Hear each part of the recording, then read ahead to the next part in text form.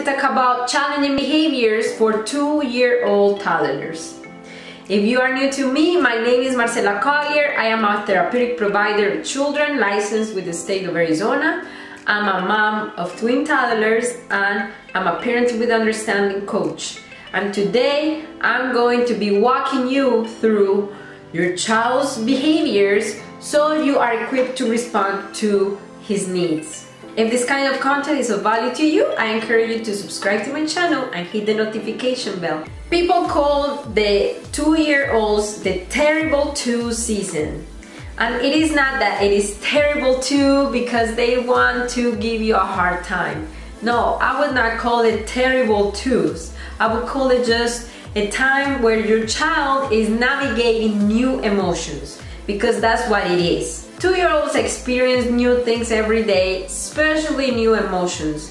There are emotions that they just start experiencing when they turn two, such as shame, such as guilt, such as embarrassment and pride. Imagine that you wake up one day and then you're feeling all these new things that haven't been there before. How would you feel? That's why sometimes they could act that out of control because they're experiencing new things in a new environment as well. Two-year-olds live a lot of frustration because they are not babies, but they don't have the communication skills to say what they feel, to say what they need.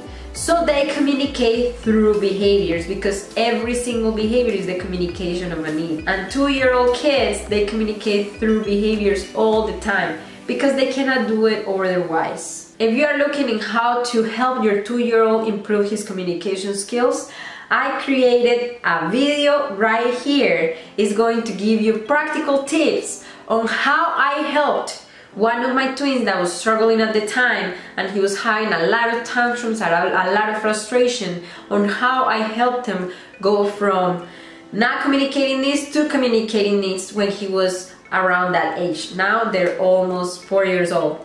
So their main job is to experience new things, new feelings, and our main job when we have a two-year-old is to help our children navigate those new emotions. That's our main job, which sometimes it feels like a really big job because we have to help them through those tantrums, help them through those meltdowns, help them through yelling, help them through all those behaviors and guiding them on how to express those emotions in a safer way.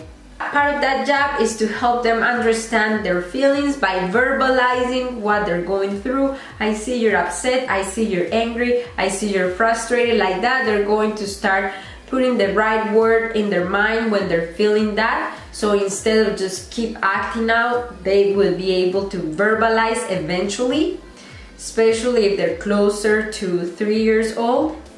The second thing is when they are having those big tantrums to help them calm down. That's another job that we have at this age. The fact that we might think it is not a big deal or the fact that we might think that oh man, like this would be easier if he just put his shoes on to get out of our adult minds and go down to their level and then see through their eyes how they're seeing their world and empathize with them.